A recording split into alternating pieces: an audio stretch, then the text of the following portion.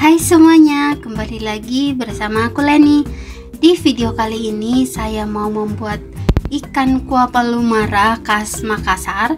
So, buat kalian yang penasaran cara membuatnya dan apa aja bahannya, simak videonya sampai selesai ya dan untuk ikannya ini aku pakai satu ekor ikan bandeng.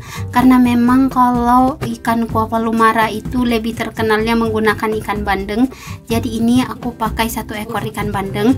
Tapi kalau teman-teman mau pakai ikan lain juga boleh tergantung selera ya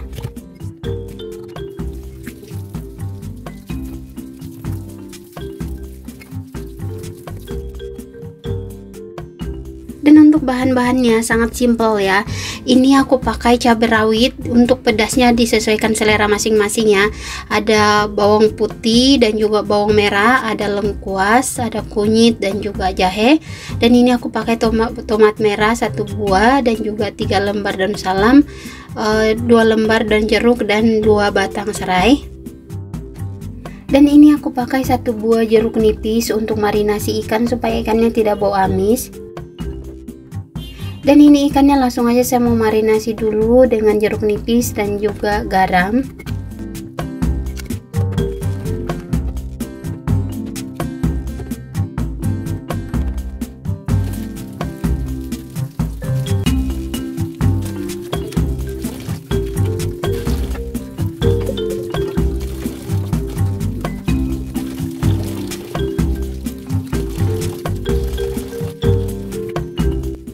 dan ini bahan-bahannya semua cukup dipotong-potong aja kecuali kunyit saya haluskan. Kalau teman-teman pakai bubuk kunyit juga boleh tapi aku lebih memilih menggunakan uh, kunyit masih mentah supaya lebih segar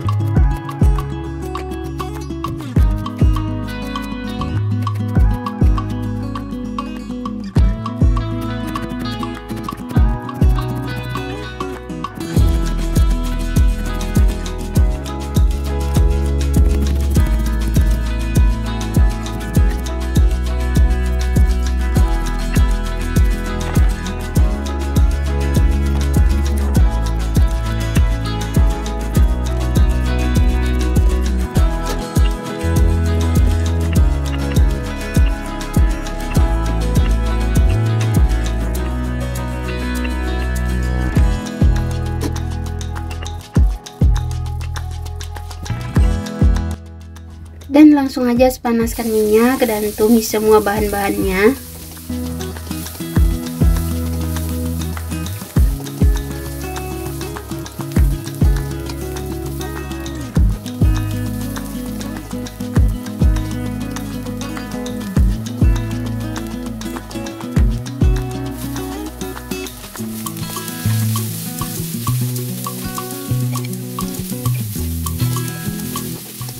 dan setelah semua bahan-bahannya uh, sudah layu dan wangi jangan lupa tambahkan garam uh, penyedap dan juga merica bubuk.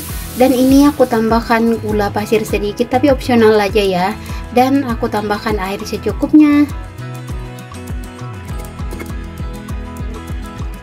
Dan setelah mendidih langsung aja masukkan ikannya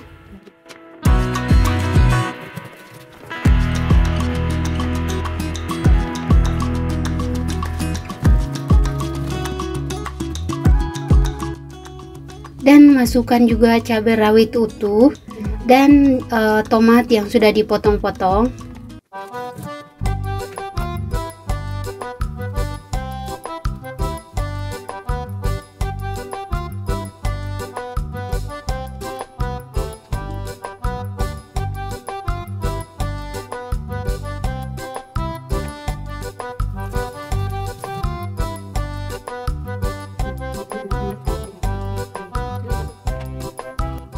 dan setelah hampir matang baru masukkan daun bawang. Tapi ini opsional aja ya.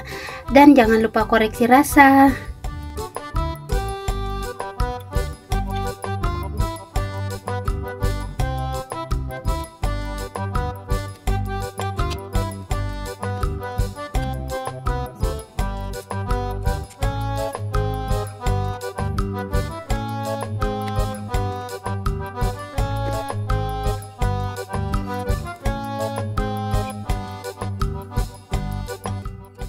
dan ini dia hasilnya jadi gampang banget kan cara membuat ikan kuah palu mara khas Makassar. Jadi teman-teman wajib banget cobain karena ini kuahnya benar-benar seger.